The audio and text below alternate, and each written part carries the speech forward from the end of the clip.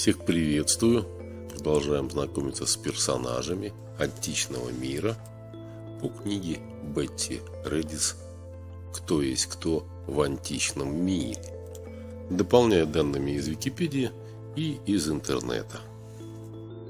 Ливий Тит Ливий Тит, 59 год до нашей эры, 17 год нашей эры. Ливий – римский историк эпохи Принципиата Августа. Родился в Потавии, современная Падуя. Жил в Риме, всю жизнь посвятил работе над своей историей, изложением мировой истории от основания Рима. Из 142 книг истории до нас полностью дошли только 35, в которых верхний временной предел связан с историей Второй Пунической войны 218 201 годов до нашей эры. Ливий стал знаменитостью еще при жизни.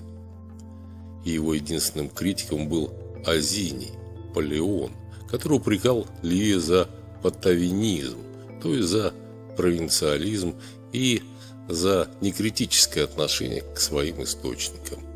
Ливия отличает развитое историческое мышление, чувство прошлого и твердые моральные устои. Цель своей работы Ливий видел в том, чтобы помочь людям извлечь практические уроки из прошлого.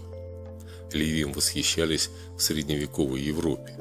Данте называл его непогрешимым.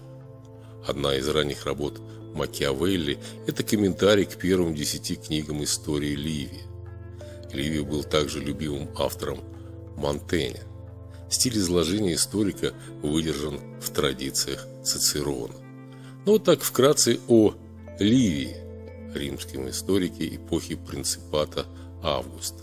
Пока-пока, до свидания.